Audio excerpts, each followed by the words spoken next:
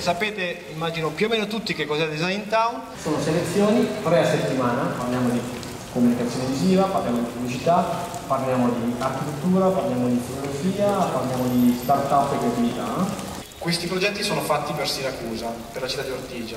Sono tre giorni molto importanti e sono tre giorni pieni perché poi il terzo giorno a mezzanotte in classe entrano altri docenti e rimangono con loro per altre 48 ore. Come vedete mi stanno riprendendo, io vengo malissimo, ma tutto questo raccontato in rete in tempo reale come il grande fratello.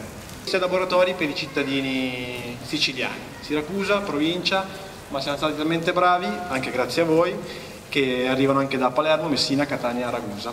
Intanto grazie per avermi ascoltato.